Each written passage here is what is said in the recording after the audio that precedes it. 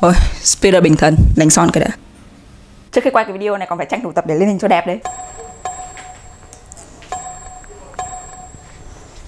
Ui, phải thêm nhạc để tôn vinh cái sự gợi cảm này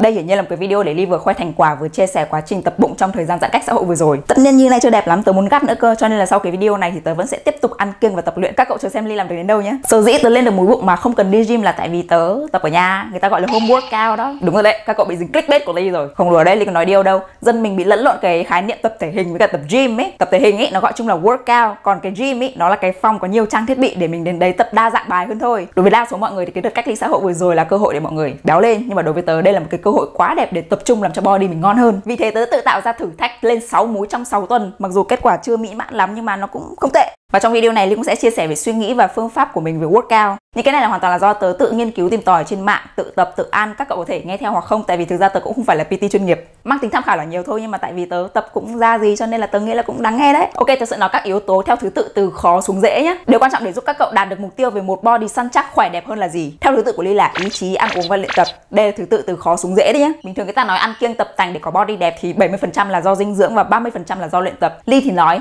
90% là do ý chí và tinh thần quyết tâm. Sự quyết tâm ở đây tất nhiên không chỉ thể hiện qua suy nghĩ. Bây giờ cũng nghĩ ôi bây giờ mình phải giảm cân mới được, quyết tâm quyết tâm quyết tâm thì ai cũng làm được đúng không? Nhưng mà quan trọng là phải biến cái suy nghĩ đó thành hành động, biến bằng cách cố vượt qua tất cả các bài tập và nín nhịn những cái món ăn vặt ăn nhanh mà có thành phần chủ yếu là tinh bột làm các cậu béo đau và đớn. Và 10% còn lại là tập và dinh dưỡng thôi. Nhiều người cho rằng bỏ một số tiền ra gym sẽ làm cho mình quyết tâm hơn để đỡ thấy phí tiền ấy. Có thể nó có tác dụng với một số người nhưng mà xung quanh Ly thì tớ thấy toàn là những cái người thà chịu phí tiền còn hơn là chịu tập mệt. Thế mới bảo ý chí và tinh thần gần như quyết định tất cả. Từ các cậu phải tạo được kỷ luật cho bản thân thì mới đạt được thứ mình mong muốn. Trước khi nói đến yếu tố thứ hai là về dinh dưỡng thì Ly muốn nói về vấn đề các chỉ số của cơ thể. Hối các bạn có thân hình hơi mũm mĩm thường gọi sự là béo đi thì thường hay bị ám ảnh về cái gọi là cân nặng, cái số cân nặng của các cậu ấy. Chắc các cậu nghe câu này nhiều rồi nhưng mà Ly nghĩ Ly nói thêm cũng không thừa. Vượt từ cân đi. Cái việc chúng ta đánh giá tiêu chuẩn hình thể qua cái cân trong cái thời buổi này nó rất là toxic. Ví dụ như Ly nhé là cao 1m58 và nặng khoảng 51 52 kg cơ. Bây giờ mà ai bảo tôi béo chắc chắn người đấy là do mắt kẹt vào Đến đây thì các cậu sẽ chắc mẩm Ly sẽ nói là những cái chỉ số về cơ thể mà chúng ta cần quan tâm là số đo các vòng đúng không? Uhm, rất tiếc là không cái này thật ra Ly cũng không quan tâm nốt. Tại vì nhá, hầu hết các bạn nữ sẽ rất ám ảnh về cái việc là có một vòng eo 60 hay thậm chí là kiểu 56 Ngọc Trinh hay thậm chí là bây giờ là 54 như Ninh Dương Lan Ngọc. Nhưng mà các cậu nhìn đi, eo tớ thắt như này nhưng mà số đo là 65 cơ. Bên cạnh đó thì cũng có những cái bạn do tặng người đuồn đuỗn kiểu gọi là eo bánh mì ý, thì có tập nữa tập mãi cái shape người nó vẫn như vậy thôi ý. Cho nên là bây giờ cứ chỉ chăm chăm đi giảm số đo cơ thể nó cũng toxic không kém. Nói chung là vứt cân đi, vứt cái thước dây đi. Cái chỉ số cơ thể mà bây giờ tớ mong chúng ta cần quan tâm là chỉ số in body. Ok về chế độ ăn thì tớ chọn eat clean với cả tính macro, tức là tập trung vào ba chất dinh dưỡng chính là đạm, tinh bột với cả chất béo. Tớ có kiêng khắt khe không? Tức là có phải diet hoàn toàn 100% trong 6 tuần không? Thì câu trả lời là không.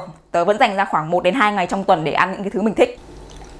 Chào tội gì về hành hạ bản thân khi mà sống trong một cái đất nước là thiên đường ẩm thực như Việt Nam. Nói chung khi đã tính theo macro thì phần lớn thời gian từ theo dõi rất sát sao cái lượng calo, cái lượng đạm với cả tinh bột với cả chất béo từ nạp vào. Trong những cái ngày gọi là cheat day tức là những cái ngày mình được ăn liên thiên những cái thứ mà mình thích ý, thì mình để ý cái lượng calo mình nạp vào là được. Nhưng mà tới thì đây quan tâm vui mồm thì mình ăn thôi. Cách giải quyết là sau đấy là tập nhiều hơn. Đúng thế còn gì? Chỉ cần cái năng lượng mình tiêu hao lớn hơn cái năng lượng mình nạp vào là ok rồi, an toàn rồi. Tuy nhiên là trong khoảng 2 tuần cuối trước khi quay cái video này thì tớ có chạy nước rút thật, tức là đây 100% luôn, no cheat meals. Trong đấy thì có 3 ngày cuối là tớ còn áp dụng cả IF nữa, nó là intermittent fasting, tức là nhịn ăn gián đoạn ấy. Có lẽ tớ sẽ dành hẳn một video để nói kỹ hơn về cái chế độ ăn của tớ. Tớ thì thực ra không chỉ tập bụng mà tớ tập toàn thân. Thực ra trong 6 tuần vừa rồi tớ ngày nào cũng tập trong tuần thì tớ chia ra là 3 ngày tập workout với cả 4 ngày là cardio trong đấy thì mỗi ngày tớ đều dành ra 10 phút để tập bụng thời gian đầu thì tớ cứ tập mỗi bài bụng tay, lưng, mông đùi mỗi bài 10 phút. Cardio thì mỗi ngày 30 phút. Nhưng mà tớ không tập theo các bài cardio thông thường nhé Tớ tập ở đây là tập cardio dance workout Tại vì tớ thích nhảy mà. Cho nên là tập theo cái đấy nó thấy có hứng hơn ấy. Xong sau đấy tớ cũng tăng dần bài tập lên nhé